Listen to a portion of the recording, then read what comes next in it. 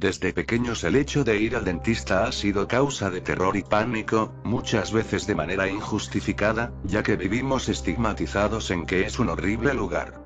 Gracias a los avances médicos en el área odontológica, los procesos, o citas para acudir a estos lugares son más amenos, o por lo menos no tan dolorosos.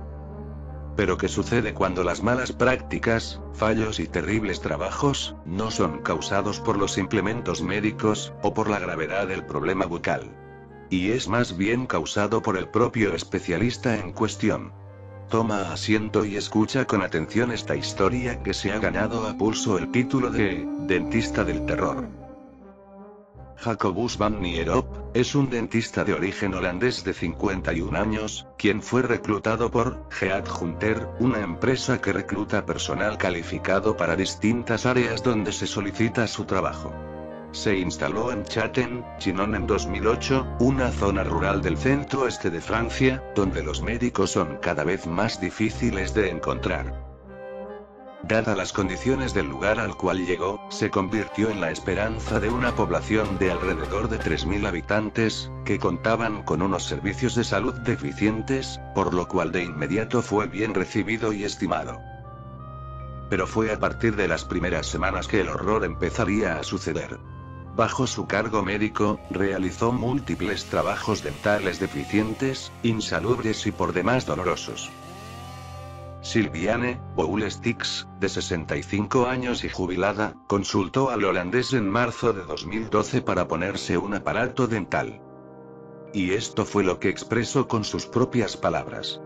Me pinchó siete u ocho veces, me arrancó ocho dientes de golpe y me puso el aparato sin anestesia. Estuve sangrando durante tres días. Por otra parte, Bernard Hugon, jubilado de 80 años, recuerda cómo le colgaban trozos de carne por todos lados cuando le quitaron la raíz de un diente.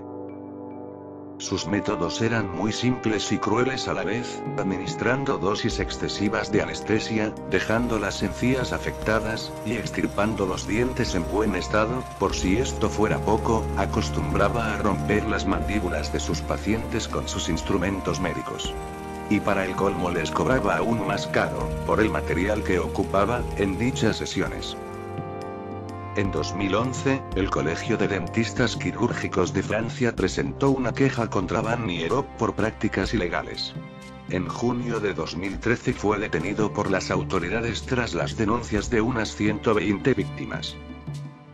Pero el odontólogo holandés evadió la justicia francesa y logró escapar a Canadá antes del inicio del juicio en su contra. Se estableció en otra pequeña ciudad, esta vez en la provincia canadiense de Nuevo Brunswick. Ahí fue detenido gracias a una orden de captura internacional, siendo enviado a Holanda, desde donde fue extraditado a Francia. A comienzos de marzo del 2016, tras pasar 18 meses detenido, finalmente explicó a las víctimas, que observaron su primera declaración ante un juez, el porqué de sus abusos. Su declaración lejos de ser elaborada, o estudiada fue simple. Jacobus van Nierop, expresó lo siguiente. Atribuyo todos mis crímenes a la muerte de mi esposa, desde aquel fatídico día en que la perdí, las personas dejaron de importarme. Tras esta audiencia se destaparon más de 120 afectados, de los cuales la gran mayoría son personas de la tercera edad, a los cuales les extrajo prácticamente en su totalidad la dentadura, el resto de ellos presentan secuelas de malformaciones dentales, problemas en la quijada, problemas nasales, incluso una pequeña parte de los afectados desarrollaron alergias, y efecto secundario debido al exceso de químicos que utilizaba en sus trabajos. Jacobus van Nierop, enfrenta una condena de 10 años de prisión y 150.000 euros de multa, bajo los cargos de mutilación, fraude, extorsión e intento de homicidio. Con posibilidad de aumentar si es que nuevas víctimas se presentan a testificar en su contra. Muchas veces el horror puede estar a la vuelta de la esquina, dentro de un consultorio, y portando una bata. ¿Qué opinas acerca de este caso?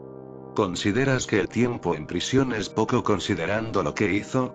Si gustas puedes postear tus comentarios. Si el video ha sido de tu agrado puedes suscribirte si así lo deseas, compártelo con tus conocidos, también te invito a darte una vuelta por el canal, ya que contiene videos de diferentes temas, me agradaría escuchar tus opiniones y sugerencias, en la parte de abajo te dejo los links del Facebook, Twitter y del blog, donde subo contenido diverso periódicamente, hasta la próxima.